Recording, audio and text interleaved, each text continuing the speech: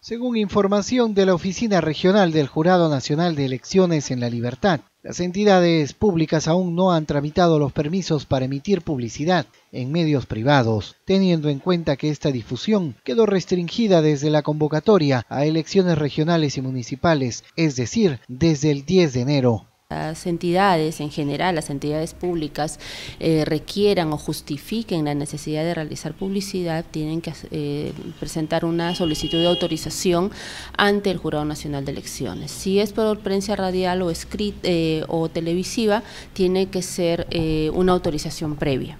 Y en caso que sea otros tipos de medios de comunicación, tienen que dar cuenta dentro de los siete días posteriores.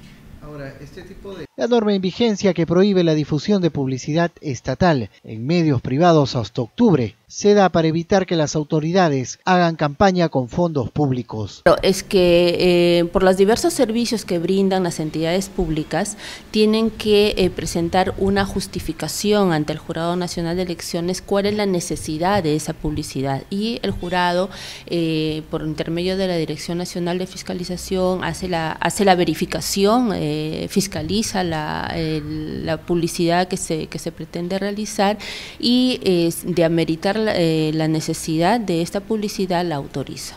El Jurado Nacional de Elecciones viene investigando dos presuntas infracciones cometidas por los alcaldes distritales de Huanchaco y Víctor Larco de la provincia de Trujillo. Ambos colocaron anuncios de bienvenida al Papa Francisco en el diario Correo cuando la norma lo prohibía.